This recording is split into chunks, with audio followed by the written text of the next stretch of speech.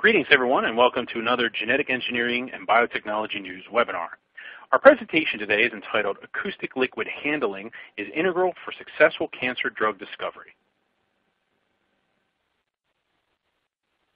I'm Jeff Buguliskis, Technical Editor for GEN, and I'll be the moderator for today's webinar presentation.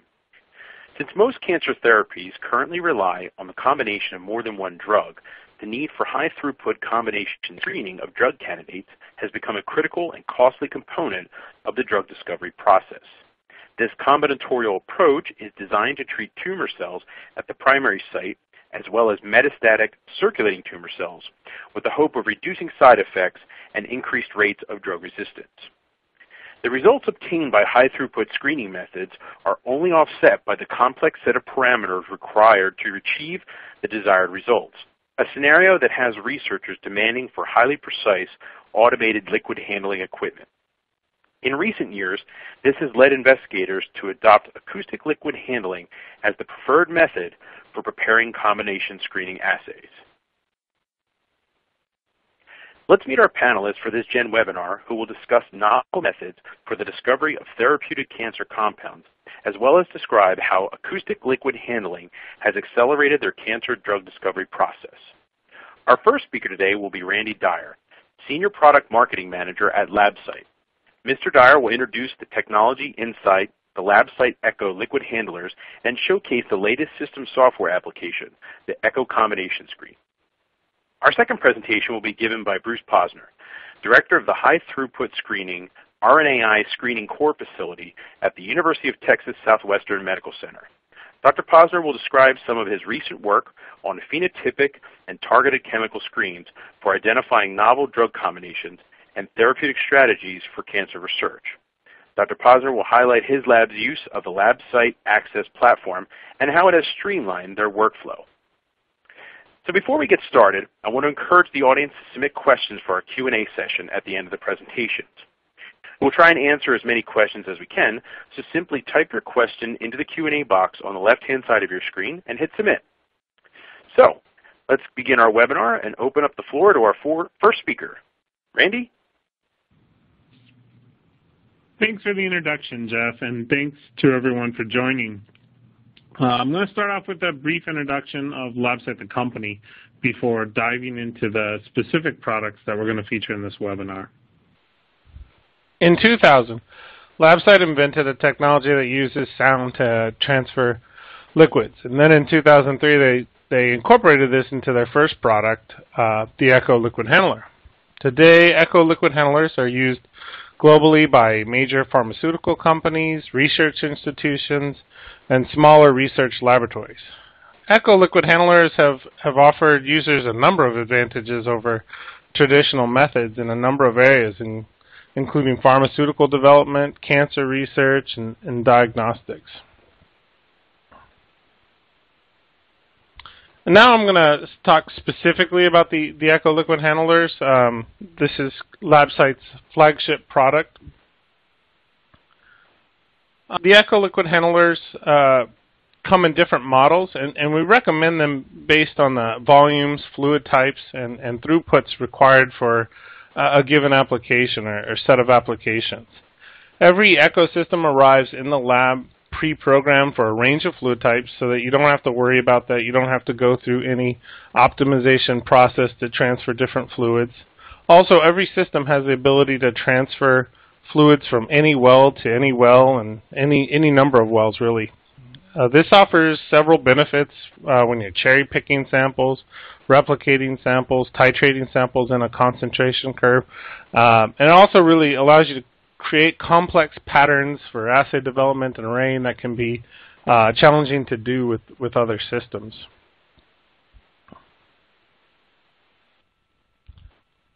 Inside the Echo Liquid Handler is Labcyte's core technology, acoustic liquid handling. Echo liquid handlers use an acoustic transducer located under the source microplate to emit acoustic energy through the bottom of the plate up to the meniscus of the sample or reagent that you want to transfer. When the when this acoustic pulse hits the meniscus, a droplet of this uh, of the sample fluid is ejected upward into a destination well or some other surface that you want to transfer to. The process requires very little energy, so there's no harm to the sample being transferred. Also, a droplet can be reproduced with great repeatability by firing another pulse using the same power. And this is what gives the echo system its great precision and accuracy. Depending on the model, the droplet volume can be 2.5 or 25 nanoliters, and the rate of droplet ejection can range from 200 to 500 drops per second. So this allows you to quickly build up large volumes by firing uh, a number of droplets that are exactly the same uh, volume. Uh, using a proprietary technique called dynamic fluid analysis, Echo systems can acoustically sense changes in fluid properties and adjust in milliseconds prior to transfer. This helps maintain transfer performance despite things like hydration, evaporation, or changes in the, in the fluid height or, the shape of the meniscus itself. Um, and dynamic fluid analysis really happens automatically. You know, as I said, it's within milliseconds during the transfer. So as you're as you're screening through libraries and, and maybe your samples or fluids start to change, you don't have to worry about that. The, the echo is going to sense it and adjust. And remember, all this happens without any contact with the fluid.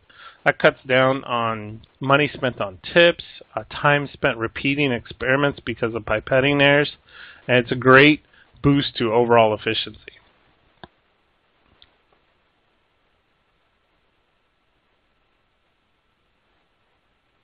This slide highlights several unique advantages of the Echo liquid handler and acoustic liquid handling in general. It takes just a second for the echo to position its transducer under the well of a source plate uh, that you want to transfer a sample or reagent from. And, and the samples and reagents can be transferred in any order, really. Uh, again, it's that sort of any well to any well flexibility. And this allows you to assemble components of a reaction many different ways. Uh, you can do this to evaluate the impact of changing concentrations or using different components in, in a reaction.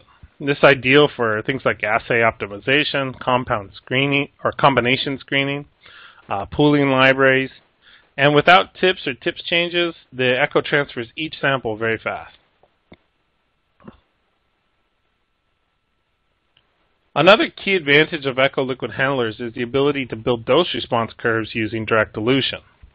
Unlike traditional serial dilution approaches, direct dilution eliminates any risk of sample carryover by transferring stock sample into different volumes directly into assay wells.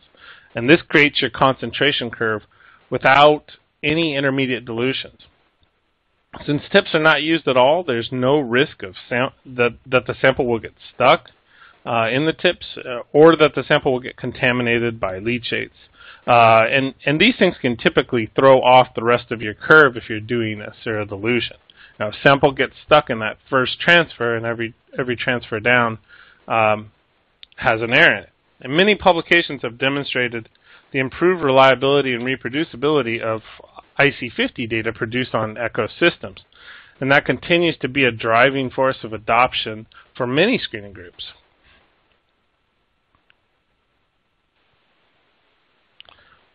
To complement the Echo, we offer a suite of software applications that vary in complexity and, and intended use. You can choose to define every transfer graphically or from an Excel file. You can also use a wizard to set up dose response assays or create custom transfer patterns for chips and arrays. Um, we also have a software application that will help you analyze and compare samples in your library over time for things like quality control. Um, but more recently, we launched uh, Echo Combination Screen. And this is specifically to simplify the process of mapping transfers into complex uh, combination screening layouts. Uh, later, Dr. Posner is going to go into the benefits of using Echo Combination Screen for his workflows. Uh, but before that, I, I wanted to quickly run through some of the highlights of the software.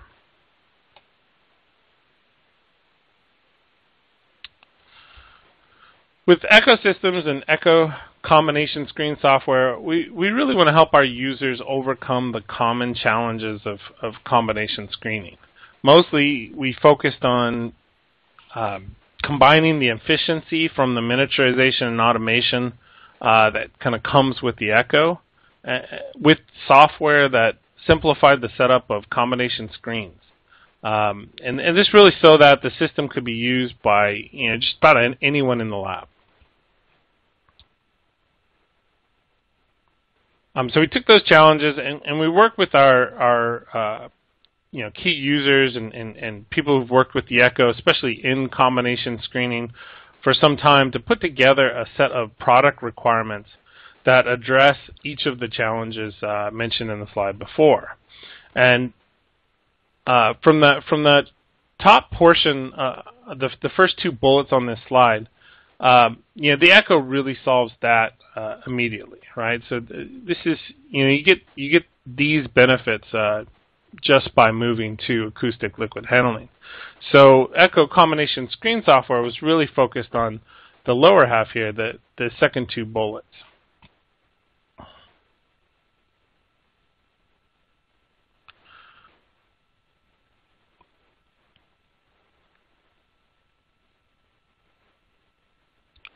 So with that, with that combination screen software, we ended up using a, a layering concept. Um, each concentration curve is treated as a layer with its own transfer parameters. The curves can be saved and layered onto a destination plate as needed to build combinatorial assays. So you end up with sort of a, a library of curves that you can mix and match and, and apply as needed uh, in various protocols. Um, the final echo protocols can be simulated, and the output from the protocols can be imported directly into your analysis software.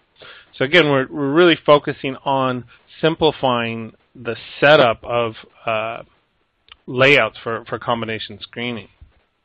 Uh, we also implemented a, a direct import into Genedata Screener. Um, when talking to many of our users, that seemed to be a common analysis tool that was used.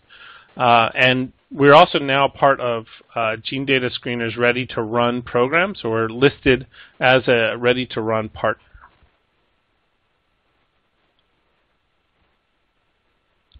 And this slide kind of breaks down this layering concept that we used in Echo Combination Screen. Uh, to make a standard 8x4 matrix in Echo Combination Screen, you have to create one layer with a four-point curve going down a column that is repeated across eight columns. In a second layer, you create an eight-point curve and a row that repeats downward across four rows. So you end up with two layers to essentially build this uh, two-dimensional matrix. From this, the software determines all of the transfers that need to occur, the various volumes, um, how much sample is required, you know, how much how much of each concentration is required, and how much backfill solvent is required as well. So once you've built out your your layout, the software then tells you how much reagent you need or, or sample and reagent you need available to run the protocol.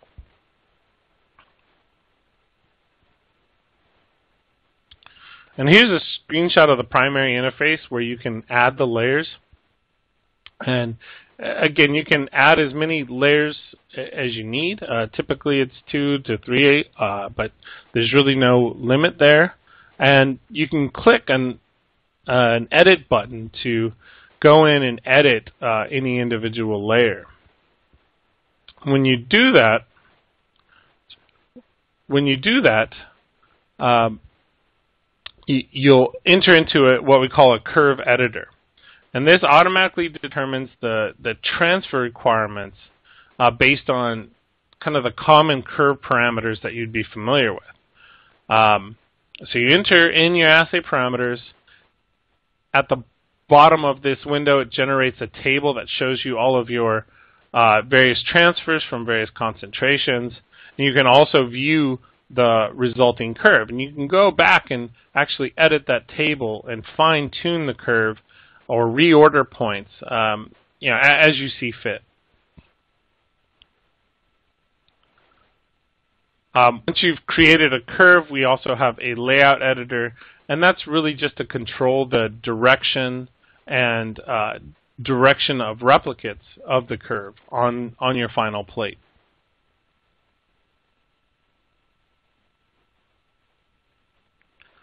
So once you've created all of your layers, then in a pick list, you simply map your uh, samples in, in your library plates to the layers. So there's a col there's columns for all of your sample information, um, you, know, the barcode of the plate that you're going to use, and then there's one column where you specifically name the layer that you're going to link that sample to. And samples can uh, be used um, in different layers. Uh, th there's no issue there.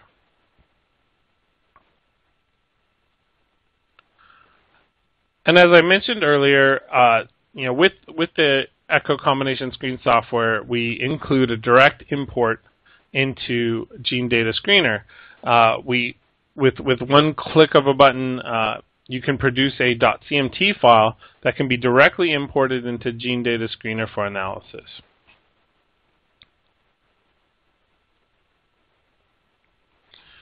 And really, with Echo Combination Screen, uh, you you can process most of the common combination screening layouts and even some uncommon layouts as well. We we try to work with uh, our users and, and and beta testers to cover as many of the different types of of strategies out there.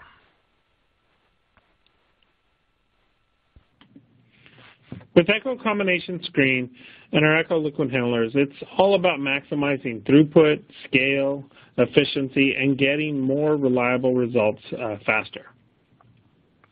With that, I'll let Jeff take over and introduce Dr. Posner, whose team has worked with us in the development of Echo Combination Screen and a lot of the early testing.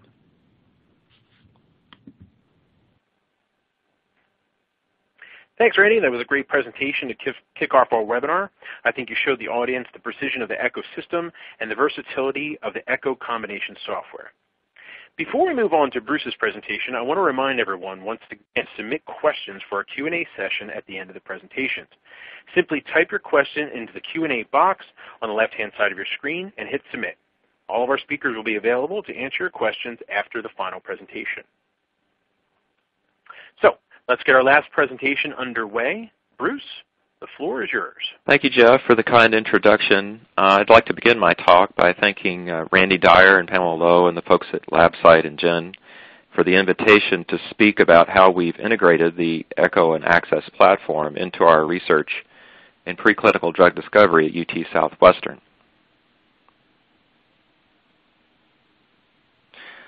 So in my talk today, I've pretty much divided it into three sections. In the first section, I'd like to give you an overview of, high, of the high throughput screening core facility at UT Southwestern and how we're integrated into preclinical drug discovery. In the next section, I'd like to talk about how we've used the ECHO and the Access platform in both phenotypic and targeted screening programs. And in the final segment, I'll share with you a streamlined process for drug combination screening that we developed as a collaborative effort with Labcyte. But first, let me tell you a little bit about high throughput screening at UT Southwestern.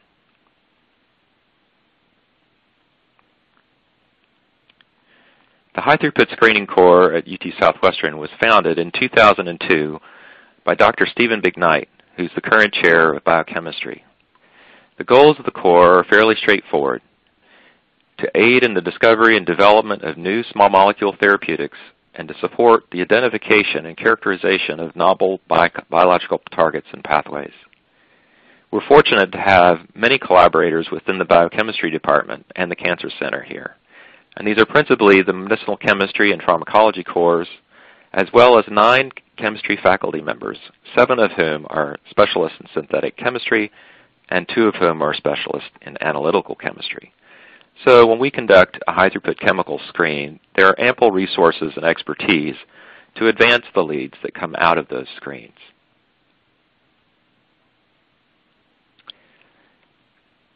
At UT Southwestern's High Throughput Screening Core, we have a number of resources and we participate in a number of activities that are related to the early stages of preclinical drug discovery. We have two principal types of libraries in the core, a genome-wide siRNA library collection, which reflects both human and Drosophila genomes. We also have a large chemical library of 230,000 compounds. The library is composed principally of selected compounds from commercial vendors, but we also have some nice specialty collections including compounds that are submitted by our chemists at UT Southwestern, as highlighted in orange, and a fairly large natural products collection submitted by a natural products chemist in the biochemistry department, Dr. John MacMillan.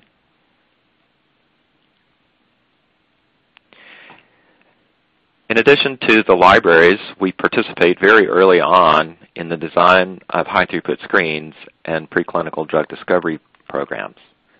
In particular, we're involved in screening strategy design, in which we help formulate the initial primary assay and the succeeding assays that will be used to help the investigators find the compounds that they're truly interested in advancing.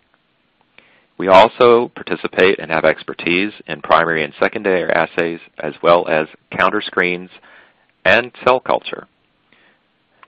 We have a number of assay formats that we carry out within the core. This includes high content image-based screening, as well as mass spec and light-based technologies, which include fluorescence, luminescence, and absorbance.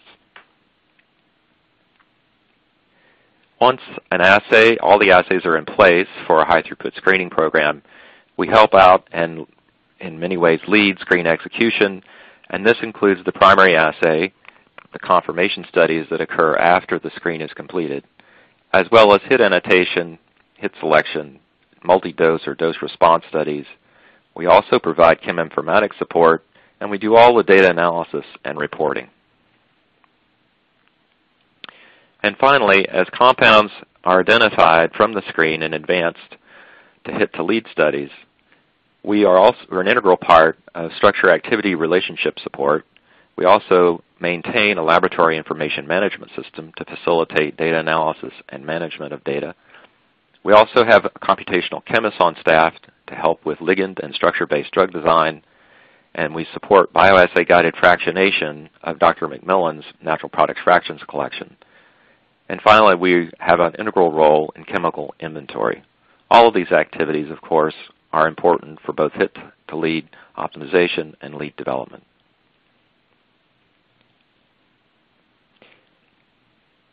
As shown in this slide, you can see that we have a number of projects in a number of different therapeutic areas.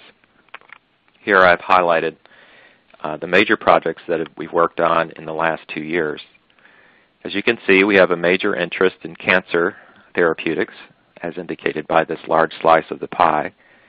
However, we have conducted several successful projects in several other areas, and I'll describe a few of those in the next few slides.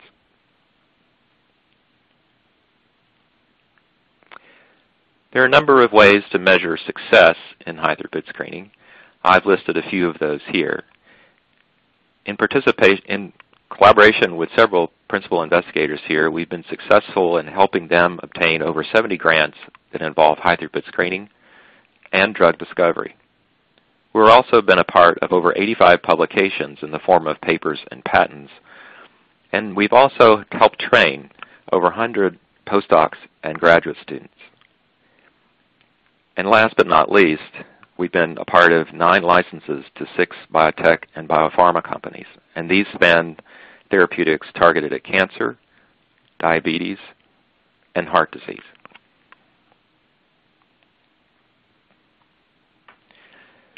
So in the next part of my talk, I'd like to tell you how we've uh, made use of the echo and the access in both phenotypic and targeted screening projects.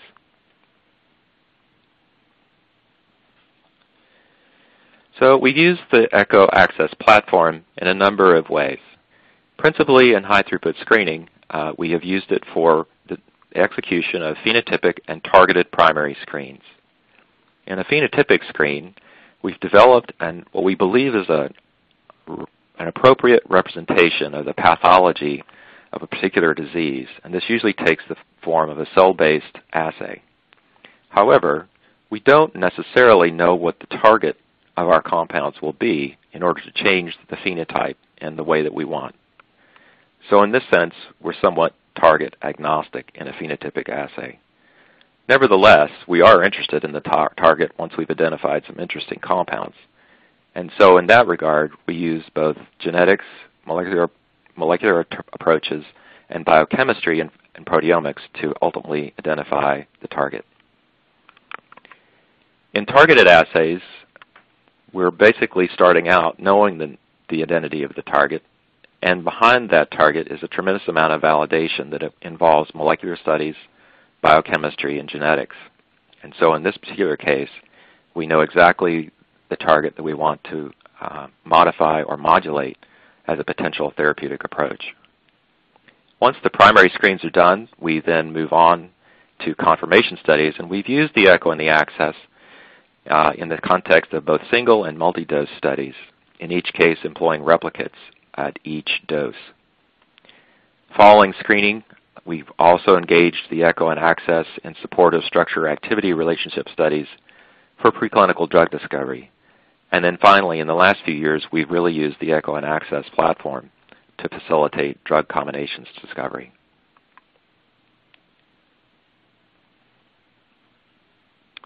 At UT Southwestern, there's a clear link between high-throughput screening of chemical libraries and preclinical drug discovery.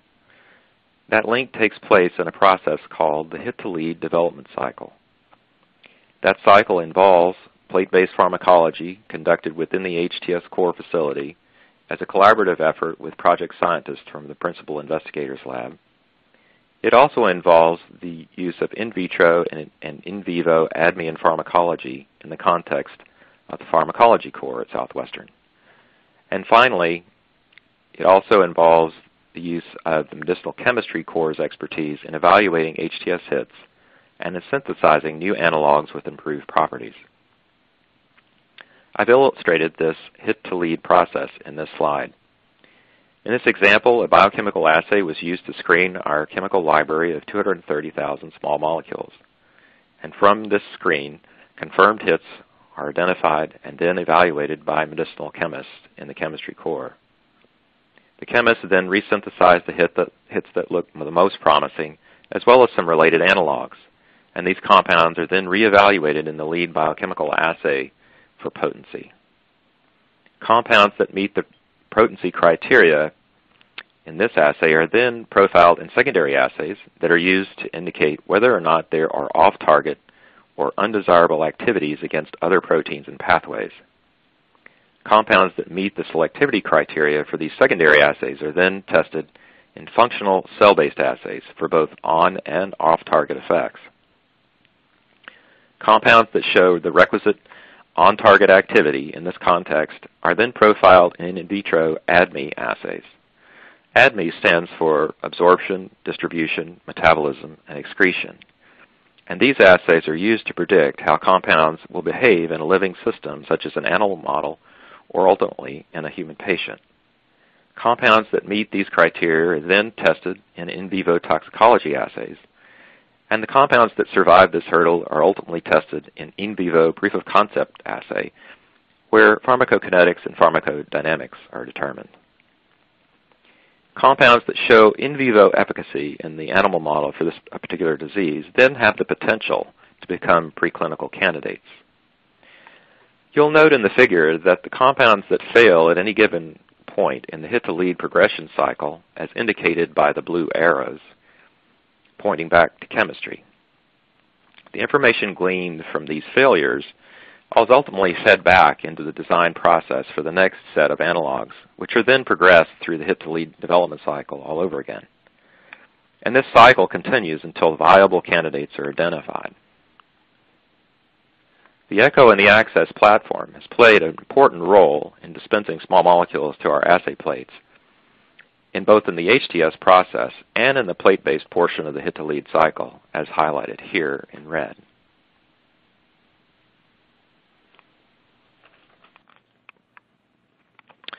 In this slide, I'd like to share with you some examples of success stories in both phenotypic and targeted screening at UT Southwestern. In the upper portion of the slide, I've highlighted several examples from phenotypic screening projects in a recent project, we were able to identify subtype selective small molecules that are potential therapeutics for non-small cell lung cancer. The details of this work have been described in a recent paper that will be published later this year in the journal Nature Chemical Biology. In a second example, Dr. McKnight has spearheaded an effort to develop neuroprotective compounds to treat ALS and Alzheimer's. This is a preclinical drug development effort that has spanned the last five years or so. Compounds from the initial screen have been optimized using chemistry, pharmacology, and biology using the same hit-to-lead development cycle that I highlighted in the previous slide.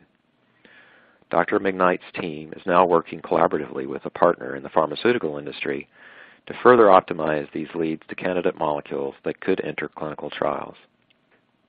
A final example of phenotypic screening is Lawrence Lum's effort to identify inhibitors of the Wnt signaling pathway as a treatment for colon cancer. Lawrence has collaborated with Chuo Chen, who is a synthetic organic chemist here at UT Southwestern. Together, they've been able to optimize the initial hits from the high throughput screen to viable leads for advanced preclinical development. Importantly, in each of these projects, the principal investigators have identified the targets in these phenotypic screens using a multidiscipline approach that includes chemistry, biology, biochemistry, and proteomics. I won't be able to go into the details of these advanced studies today, but I refer you to the papers I've cited in the slide here and the subsequent papers that go into greater detail about the targets. In the targeted area, we've had considerable success as well. In this first case, we identified compounds that block the action of HIF2 alpha, that is, hypoxia, the hypoxia-inducible factor 2 alpha. HIF2 alpha is a possible therapeutic target for the treatment of kidney cancer. Rick Bruick and Kevin Gardner pioneered this approach, and through a successful collaboration with the chemistry and pharmacology colleagues here at Southwestern, developed lead compounds that were ultimately licensed by Peloton Pharmaceuticals. Peloton chemists further refined these leads to clinical candidates and filed for an IND last year with the FDA. Their lead candidate molecule is currently in clinical trials. In a second example, Meg Phillips at Southwestern identified chemicals that inhibit dihydroorotate dehydrogenase, or DHODH, a key enzyme in pyrimidine biosynthesis in the malaria parasite. In this case, Meg ran her screen several years ago with DHODH as the target, and through the use of chemistry, biology, biochemistry, and pharmacology, her team developed a clinical candidate that successfully met the criteria for phase one clinical trials and is now in phase two trials where they'll be testing for extended safety and early efficacy studies. This has been a collaborative effort between Meg's team and the nonprofit organization Medicines for Malaria Venture, or MMV. In the final example, we've identified chemicals that enhance organ regeneration and this was captured in a paper published last year. In this particular case, the target is prostaglandin dehydrogenase, or PGDH. These PGDH inhibitors have the potential to facilitate bone marrow transplant, liver regeneration following, following surgical liver resection, and may, be, may formulate as potential therapeutics for treating colitis.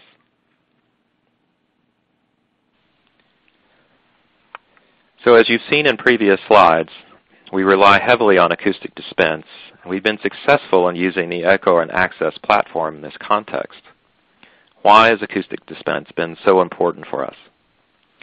Well, as Randy highlighted in his slides, the Echo uses sound to consistently eject 2.5 nanoliter droplets from the surface of a sample meniscus in a source plate to the well of an inverted assay plate. Importantly, while the, source, while the assay plate is inverted, the contents are held in place by surface tension. Now, the ability to deliver 2.5 nanoliters in, a user, in user-defined increments allows an experimentalist tremendous flexibility. As highlighted here, you can do dose response curves within the same plate with the dilutions being made on the fly from just one master well. In addition, you can also add mixtures of compounds to individual assay wells. And this particular flexibility will be an important factor in the final part of my talk today. However, a major driver for using the echo is accuracy and precision. And this is highlighted in this example from a structure-activity relationship in which we ran dose-response curves for a set of related compounds with differing potency for the target. As you can see, the potencies observed with tip-based delivery of each compound are more potent than those observed with the echo dispense, and this is consistent with what others have observed with tip-based drug, drug delivery. That is, there is a significant amount of carryover liquid on the outside of the tips to the assay well. Importantly, the impact of carryover is greater as the potency of the compound increases. So if we look at a compound with micromolar potency, one sees similar dose-response curves in experiments with both tip-based and echo-based compound delivery. However, when you look at compounds with submicromolar potency, the, the shifts are greater since the contribution of sample carryover is more significant. So in summary, accuracy, precision, and flexibility afforded by acoustic dispense have been very powerful for us.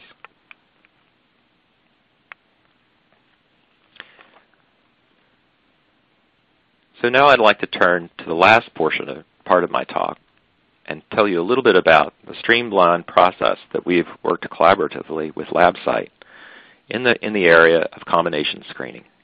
And the focus will be principally on liquid handling and compound delivery.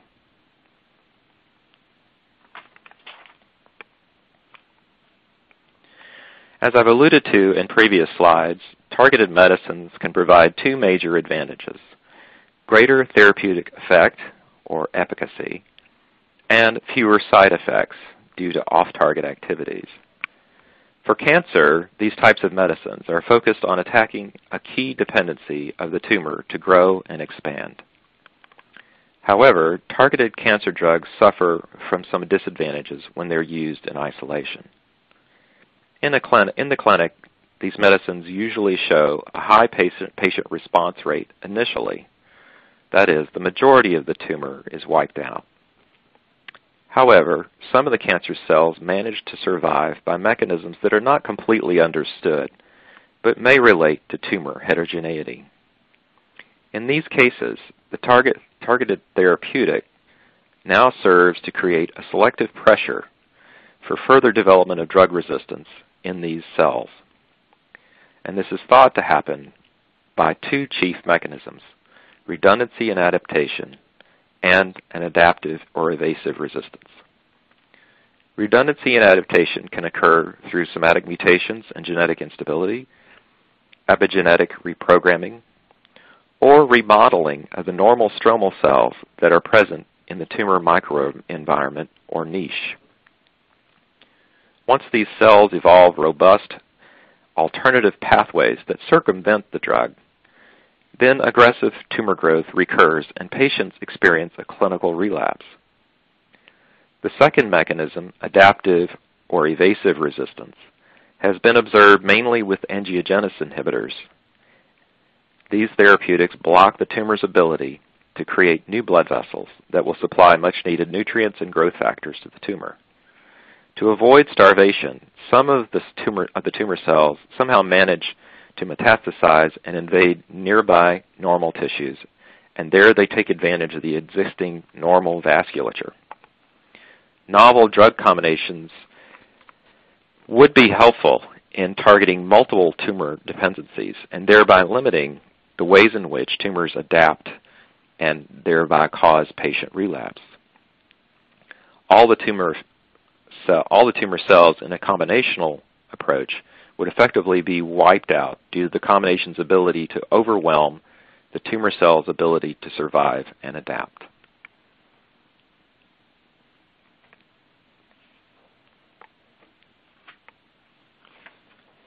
There are a number of approaches in plate-based screening for, for combinations drug discovery.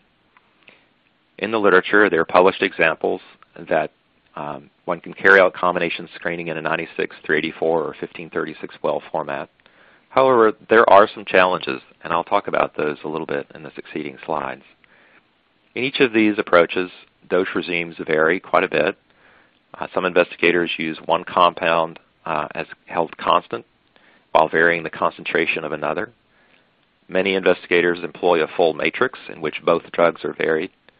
And then finally, in an effort to save time and money, several investigators have employed sparse matrices.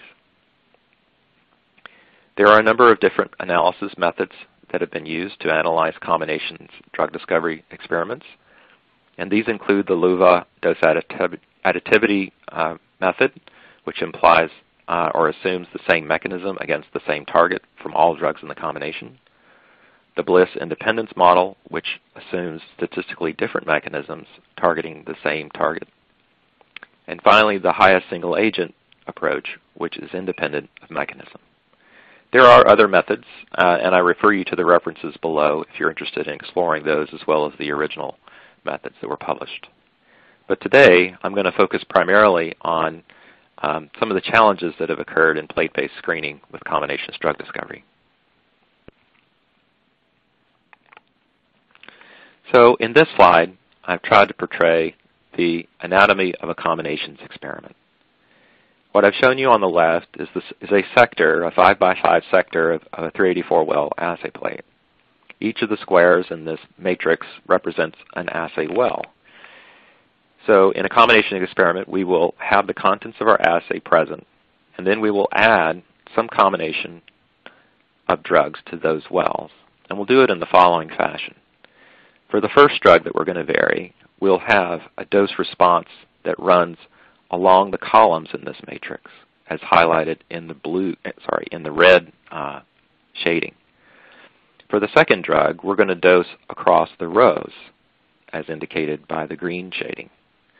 It's important to note that at the extreme left column, we have the single agent response of drug 1, and in the last row of the matrix, we have the single agent response of drug 2. So within this context, we have both the single agent controls as well as the combinations that we've generated. There are several challenges with compound handling for combinations. The first challenge involves preparation of the compound source plate. This can be done manually uh, for a high concentration of the stock for dosing. That's usually fairly straightforward. However, in, in the beginning, when we started this, we had to prepare all the combinations source plates by hand and then backfill with DMSO, the solvent that we use for our compounds, to ensure that all the all the assay wells saw an equal concentration of DMSO. So this could be quite time consuming. The second challenge is in developing an appropriate liquid handling protocol. A liquid handling protocol is basically an instrument-specific software program that controls the liquid transfer from the source plate to the assay plate. For tip-based instruments, the protocol drives basically a one-to-one -one lateral transfer from a prepared combinations plate to the assay plate. So in other words, whatever contents are in well A1 of the source plate are transferred directly to well A1 of the assay plate. For acoustic dispense, the protocol drives an on-the-fly preparation of dosing of each combination from the master well and an intermediate compound concentration well. Third challenge is in compound addition to assay plates, and this is largely governed by the method that one uses to transfer compound. Uh, and it usually scales directly with the level of complexity of the experiment. So in other words, all the experimental parameters that you need to factor in are the number of plates, the types of combinations that you're doing, the, extensive, the extent of the matrices you're employing, and the number of replicants, for example. So at this, in this particular step, you need a very well-considered experimental design that incorporates the goals of your experiment, but is not overly complex. And then the last challenge is the generation of the compound mapping files. This is essentially mapping the compound source information to the instrument log files for your liquid handler. This is an essential step for quality control, data analysis, and summarization.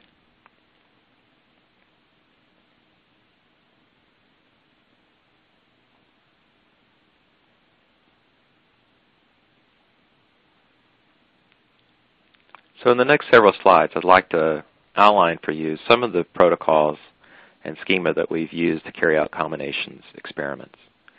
Here in this slide, I've outlined our original tip-based workflow. This is before we actually acquired an echo and could do acoustic dispense.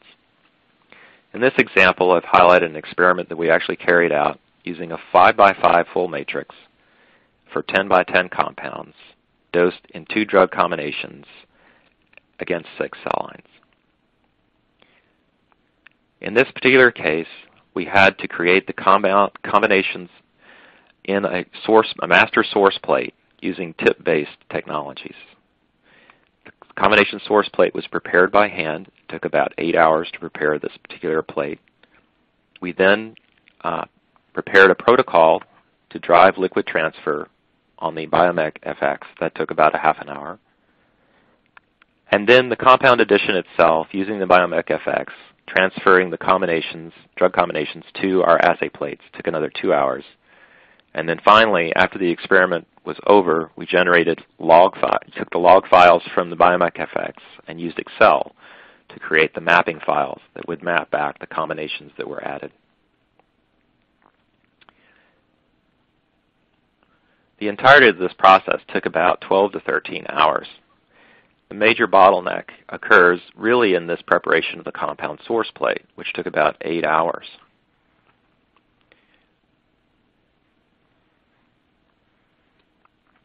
There are a number of challenges with this approach.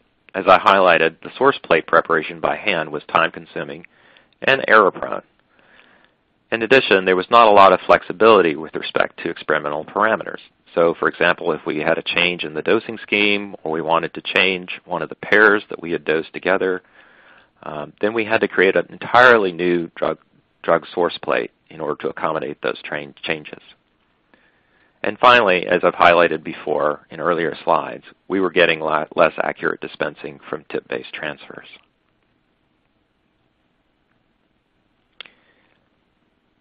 So this prompted us to move towards uh, acoustic, an acoustic dispense workflow. In the early days, we worked with the EDR program, the Echo Dose Response program. And as you can see here, we dramatically reduced the amount of time needed to prepare the compound source plates by taking advantage of the Echo's ability to dose on the fly. So to prepare the compound source plates only took about a half an hour. However, when it came to preparing protocols to, in the Echo Dose Response software to deliver these comp combinations to our assay plates, protocol preparation took about three hours. Following that, compound addition took another four hours, and then finally, generating the mapping files for data analysis took another two to three. So in total, about nine and a half to 10 hours, 10 hours of time was required to walk through this entire process, equivalent to a very long full day. In this particular case, we removed the bottleneck that was associated with preparing compound source plates, and we shifted that to protocol preparation for the echo and compound addition. There were a number of pluses to this approach. Um, first, we no longer had to do source plate preparation by hand, so we could avoid potential for errors, and it required a lot less time. The Echo and EDR software gave us a tremendous amount of flexibility, and we wasted a lot less compound. And finally, we had more accurate dispensing. But there were some clear minuses. Experimental setup was time was increased. We had to develop multiple protocols to assemble the combinations curves, and we had to pay careful attention to consistent layouts between protocols. And finally, compound mapping files also took a lot of time. These had to be generated by hand, and we had to compile details from multiple protocol transfer logs.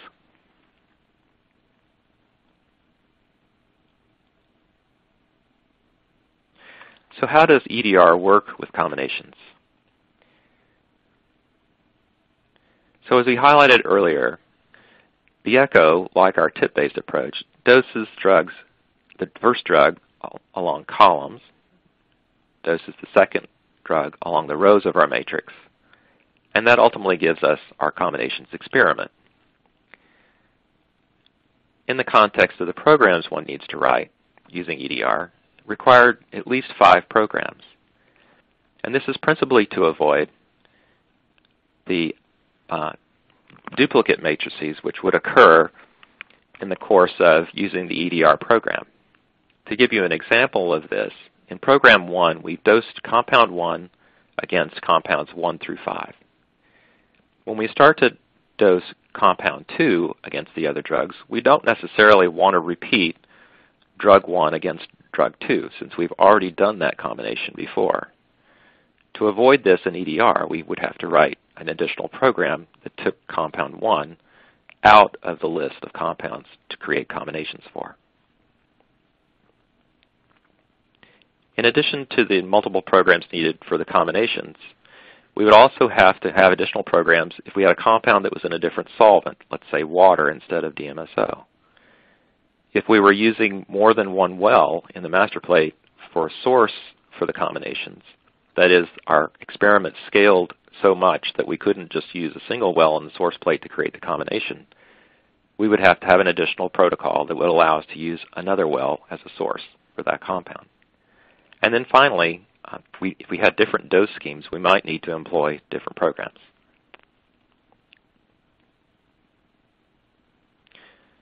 So recognizing these challenges, we worked with Labcyte to, to help them develop their ECHO combinations software. And here I presented the combinations workflow that came out of that effort.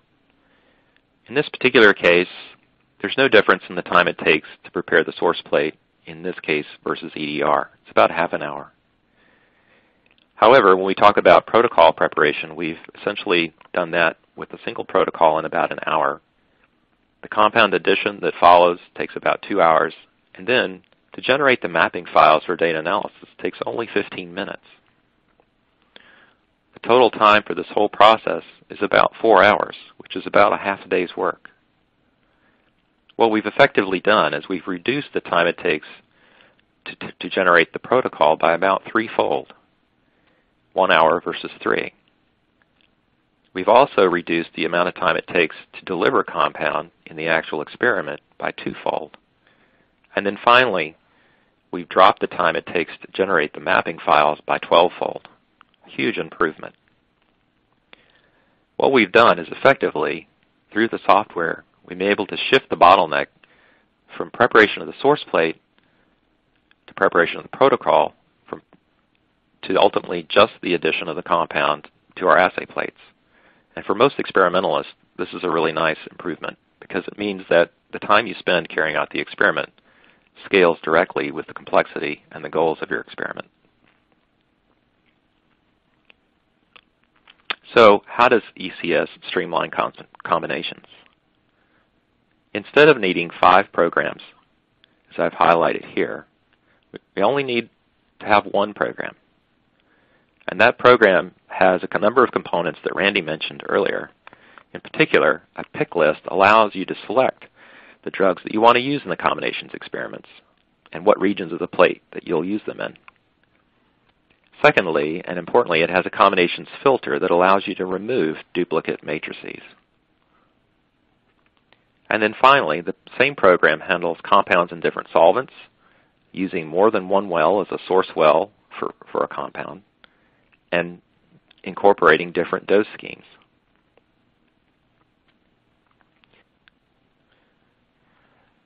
So in summary, there are a number of pluses to using ECS. First of all, we realized a greater efficiency. That is, we saw a threefold drop in the time required to carry out a combinations experiment. In our example, we only needed half a day to carry out this experiment compared to almost two days. The rate limiting step in this case is just adding the compound to the assay plates, which is dictated in large part by the speed of the echo. We only needed one protocol to carry out our combinations experiment. That protocol handles different dose schemes, solvents, and matrices. And we can select the combinations we want, so we save a lot on our compound or we're compound sparing. And finally, we can take the mapping files generated by ECS and use them directly in Genedata's, Gene Data Screener module, which we use for analysis of combinations experiments. And as you saw, a 12-fold reduction in the time taking, it takes to make these compound mapping files is a pretty big improvement. And finally, and not least, we have more accurate dispensing than tip-based approaches, as I've highlighted earlier. The only minus that we can think of at this point is that we're somewhat restricted to a matrix layout, and that's a current uh, issue that we're working with Labcyte on to look at alternative dispensing approaches. So in summary, we've used the ECHO Access platform in a number of ways that have been really important for preclinical drug discovery. I've told you a little bit about high throughput screening and how we use that in the context of the hit to lead optimization cycle. And I've also described how we use the ECHO and the Access platform in drug, drug combinations discovery. And I'll just say at this point that we're currently using ECS for combinations approaches in pancreatic, breast, and lung cancer. So hopefully we'll have more to say about combinations drug discovery in the near future. I'd just like to close by acknowledging the folks in the HTS lab, as well as those who've supported us in the biochemistry department, in the administration of UT Southwestern, and in the Simmons Cancer Center. I'd also like to thank the folks at Labcyte for their tireless uh, devotion to making sure that our experiments are successful. And then I'd finally like to acknowledge and express our gratitude to our funding, our funding agencies, both extramural and internal. And with that, I'd like to thank you for your time and attention and address your questions.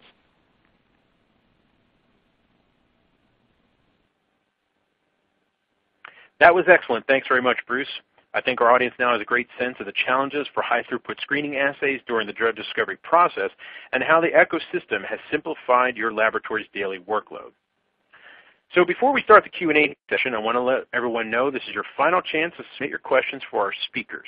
We've got some really great questions already, but I'm encouraging all of you in the audience to keep them coming.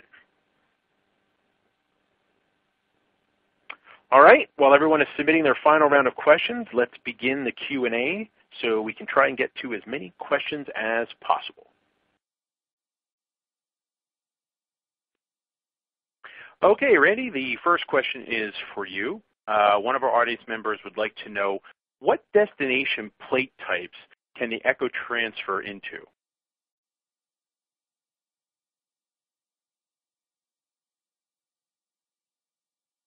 Randy, you there? Maybe you're on mute?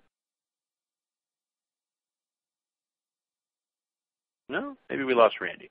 Um, Bruce, maybe we'll uh, go with a question for you. Uh, uh, Bruce, uh, one of our uh, audience members wants to know, is there a limit to the experiment size for a single run? Oh, thanks, Jeff. Um, great question. Yes, there is a limit. Um, due to the available memory constraints in the software, uh, a single protocol using ECS can run up to 70,000 transfers and just to put that into perspective, most compounds have two transfers, that is a source and a backfill. If you're doing combinations with two drugs, you'd have four transfers per well. Um, so even if all the 384 well uh, plate wells had a, a volume, uh, had four transfers per well, there would be still be enough for about 45 destinations plates. All right, thank you, Bruce. And while you're on the, uh, while we have you, let's uh, hit you with another question. Um, one of our audience members wants to know what's the most complicated combination experiments you run with the ECS software. Okay, thanks, Jeff. Um, sure. We've uh, just recently conducted a um, fairly restricted combinations experiment where we had seven drugs in a six by six matrix um, with a total of 16 combinations run in triplicate against four cell lines. Um, and, and this still ran in the four-hour time frame that I highlighted in the talk. All righty, Bruce. Um, so let's see if uh, see if we got Randy back. Uh, I don't know if we have a technical issue there, but uh, Randy, you back on the line? Randy? No? All right, guys. Hello. Well, so, oh, I think we got Randy back. Randy, can we ask you a question? Are you back on the line now? Yes, I am. All right. So we'll go back to one of our original questions. One of our audience members wants to know uh, what destination plate types can the Echo transfer into? Yeah, the, the Echo can transfer into most um, SBS format plate types, so 96 well plates, uh, 384 well plates, 1536 well plates. Um, and it can also transfer to arrays or chips again that that fit in that uh, SBS format as well. All right, thank you, Randy. And uh, since we have you, let's uh, let's ask you uh, another question that our audience audience member wants to know. Um, they ask, can the Echo systems keep track of what has been transferred into each well of a screen plate? Yes, uh, as uh, transfers occur, they are logged um, in log files. So all the information about the transfer, you know, the, the well that the transfer is coming from, the the well or destination uh, that the transfer is going to, you know, what volume gets transferred, um, you know, information like sample name, all of that is is uh, passed through to to our log files that uh, can be viewed uh, uh, after the Echo protocols run. All right, thank you, Randy. And Bruce, we have another question for you. Um, how do you know uh, that you're getting good mixing with the Echo dispense? Uh, do you have do you have to do an additional mixing step with another liquid handler? Oh, thanks, Jeff. We actually get very good mixing with the Echo dispense, and we, we don't have to use another liquid handler to help with mixing. Uh, we know this for at least two reasons. Uh, we've done dye tests where we've observed good distribution of the dye visually throughout the well after Echo addition. And we also know that we get good accuracy and precision after liquid transfer when we look at the measured values on a plate reader. In addition, we also noted that um, in tip-based instruments, if you just simply pet, pipette DMSO into the well and don't mix uh, with the addition on a tip-based instrument, you will sometimes see toxic effects to uh, your cells on the bottom of the well. Essentially, the DMSO is very concentrated, and it just essentially the cells can't tolerate that local concentration, and when they're hit with it, they die. Um, when we look at the uh, DMSO dispense alone on the Echo with cells that are sensitive to DMSO concentrations up to, say, half a percent or a percent, we don't see any killing um, of the cells in the bottom of the well. So uh, at least if, with these two sort of lines of evidence, we, we see good mixing uh, in, the, in each experiment we conduct. All righty, Bruce. Thank you very much. And with that, it looks like we've come to the end of our webinar. So I'd like to remind everyone uh, that, with, uh, that the webinar will be archived on our site at www.genengnews.com for six months. So if you missed parts of it, uh, you can watch it again or feel free to forward the link to your friends and colleagues. I'd like to thank Bruce and Randy again for the informative presentations, and I'd like to thank the audience for their attention and thoughtful questions. And a very special thanks to Labcyte for sponsoring this webinar. So hopefully we'll see you again at another GEN webinar in the near future. Bye for now.